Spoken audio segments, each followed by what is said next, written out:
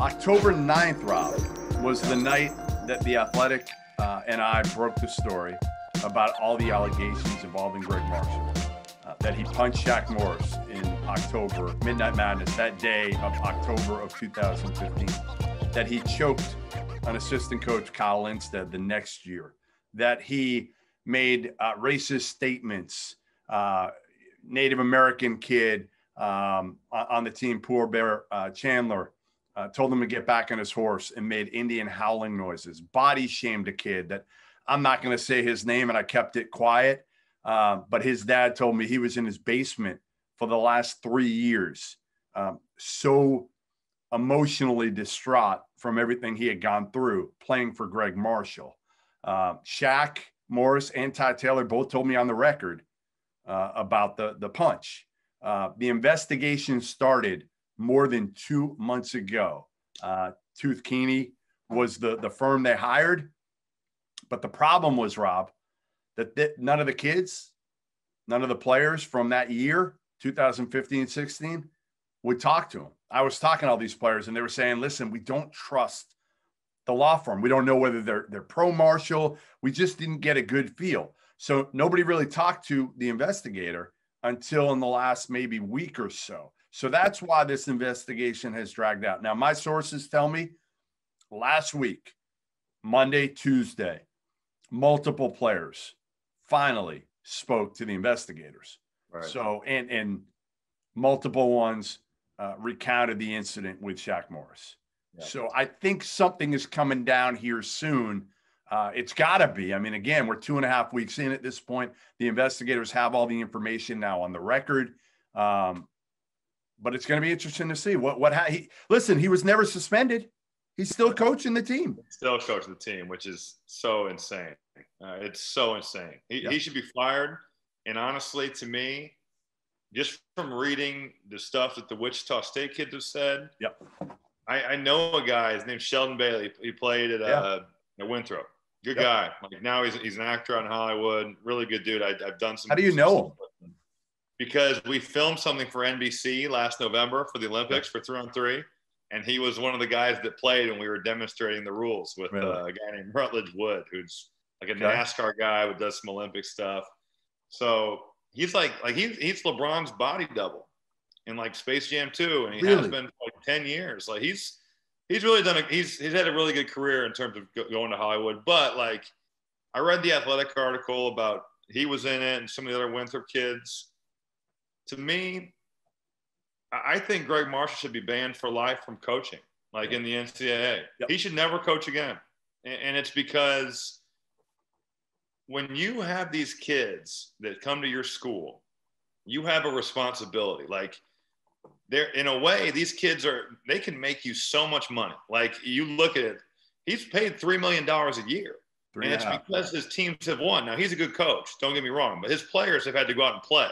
Gregg Marshall's not making three point shots from the bench. Like, let's be real about that. The players have got to do it. But it's it's one of those deals where like you have a responsibility to all those kids to give them not only a, a positive experience, whether you win or lose, but to help set them up for life. Yeah. So when you tell me that there's a kid that for three years has been sitting in his basement, emotionally distraught because he was body shamed by his coach, I'm not. I'm never going to be somebody that says you should like your head coach all the time. Right. There are plenty of times where I left practice and I was like, man, Coach Painter was kind of an asshole today. but I didn't go to Purdue for him to be my friend. Is he my friend today? Yes. Am I glad he's my friend today? Yes. But I wanted him to hold me accountable. I wanted him to make sure that I go from a teenager to an adult. And I want him to make me a better player. So I wanted him to coach me hard. And he did. He coached all of us hard. But there's going to be times. I, I remember hearing a story.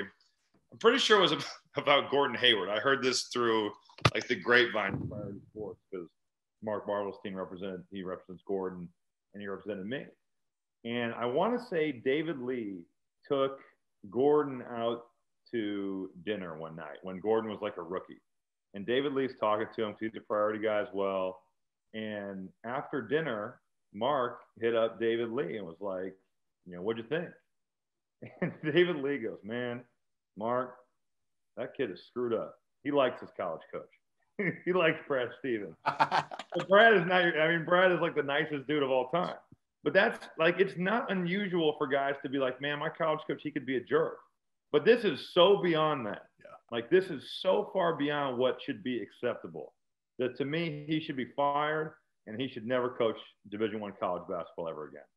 Rob, I talked to like 37 former, current players, coaches, and like three defended Gregg Marshall. Yeah. Now, again, most off the record. And I tell everybody, everybody said, well, nobody went on the record. Yeah, because the guys who played there for four years come back and they're revered, right? And they make money there. They do camps, they sign yeah. autographs. And as long as Gregg Marshall is the coach, yeah, they're scared. I mean, this guy's got power, right? Winning breeds uh, power, which breeds fear. And a lot of these players, yeah, they're not putting their names. Fred Van VanVleet's not going to come out right now and, and, and go after Gregg Marshall. Ron Baker's not going to do it. Neither is Landry Shamet. None of those guys have come out, period, which I think is telling, Rob. None of them have come out to back Gregg Marshall. Yeah, it's not just that they're saying he did do this; it's it's them saying he didn't do this. That's right. You know, that's what to me is the if somebody came out after Matt Painter and said he was abusive as a coach, man, I would not be able to stand by that. I, I would. You go crazy, right? With all my teammates, we would all come out and say, "No, he's not." Have been about six at his maddest. I know what what he is like when he is really pissed, and it's not, it's not that. Like it's definitely not that. You know. Yeah, you've had about a half dozen that predate the Shaq Morris team in 2015 and 16 that have come out. Toure' Murry, who played in the league, Joe Ragland, uh, Ramon Clemente. There have been a few, but yeah. but again, it's a small small percentage, and not one since 2015, 16 has come out um, to to to back him. Now, who has backed him, Rob? Tom Devlin. Tom Devlin is their second biggest booster. Charles Koch, their biggest booster. Tom Devlin used to own Rent-A-Center he came out and wrote an, uh, basically an editorial uh, letter to the editor where he basically said, um, I stand in support of Gregg Marshall. And, and then a guy, Bob Geist, I think that I'm pronouncing it right, from uh, Pizza Hut. Uh, he also came out and they wrote something, him and another guy. And, and again, they're buddies with Marshall. I get yeah, it. Right. They're buddies with him. But how can you condone to me? You cannot. It's not 1985. Right. It's not Bobby Knight at Indiana. that's over with. You can't like, condone that shit. Like to no. me, again, the, the guys that I have, people are like, well, you've got it, you've you've got it out on Gregg Marshall. You've had it out against him, and I'm like, no, no, you got to understand. Gregg Marshall's never done one thing to me. Billy Gillispie never did did one thing to me. But you know what? When you hear of these things going on, yeah, hell yeah, I'm going to go after him. Yeah because no, you got you got to stand up for these kids, like because right. if you're not going to, and other people aren't in the media aren't going to put it out there, he's going to keep doing this. Yeah. Yeah. Like, and again, I've called like four Wichita State games. I have. He's been nothing but nice to me when I've been there. Sure. But if this is happening, he's got to go. It, uh, you know, again, I, I think something will come out this week, but it wouldn't shock me. Listen, it's still money talks. And Tom Devlin, think about this too. Gregg Marshall's got a seven-year rolling contract at 3.5 million. And if the lawyer, the general counsel from Wichita State says, after looking at all the investigation, the, the, the information from the interviews, if they say, hey, listen, if we fire him, I don't, I don't know. We might have to pay him. What do they do? Or we might have to settle and pay him 15 million. What yeah. do we do? Especially if those boosters are saying, I'm pulling, I'm pulling my money. Pulling my money. Now right. you're in, you're you're in a tough situation. But I would hope that, school would do right by those kids. You would hope so, but man, I, I don't know which way it's going to go right now. I do not. How could you ever like? What player would go to Wichita State after this? Here's the one thing I'll say about that, Rob. Here's the one thing people have said that to me. They're like, "Well, how is he going to be able to recruit?" And my deal is, Ron Baker was a walk on. He was a walk on. No, there's no question that Gregg Marshall gets the most out of these. Like, and is a good coach. coach. Like, yep. uh, that's not right up for debate. He does a good job, but but still, if you want to win at the level that Wichita State has been winning at, no, you, are 100 percent right. Last year, you're not just going to. I mean, Ron Baker is a great example. Yeah, but, but he's the he's the exception. he is not the norm of the walk-ons that you get. That's right. He's, he's an NBA player, and he plays high-level EuroLeague basketball. Right. Like so, if he can, hey, if he can keep doing that with walk-ons, then Gregg Marshall might be the greatest coach in the history of the planet. So while I do appreciate that example, that might not be what he does with every walk-on that comes to Wichita State. You know what you'll want to be at if Gregg Marshall keeps his job. Uh, you will want to be at the Peach Jam next year in July uh, when I attend the Peach Jam and see Greg Marshall, and I sit next to him. Does well, Gregg Marshall? It might, it might, look like uh, that clip from Canada when Wichita. Totally is, or the clip when he punched Shaq Morris. You better, you better bring your bodyguards. What you better do. I'm bringing you. yeah, no, I'm not going to. you want to see me in Augusta, South Carolina? I want to ask: Has anybody said what happened to the practice footage from the show? I mean, I'm sure it's been out of here, but a, a player had said to me, one of the players I talked to said that the, the, that he told them to destroy the tape. I can't confirm that. I don't know that for certain. How about this one, Rob? There were boosters in there. There were a couple boosters in there. I don't know who they were. Oh, That's CBS right. CBS was in there filming Men of March. No. So they were in there. Yes. Now they may have they may have turned off the footage by then because usually when those things happen, I've been in enough of those. They get what they can. They don't usually stay till the very end of practice. A lot, you know, a lot of times they'll, they'll stay for now.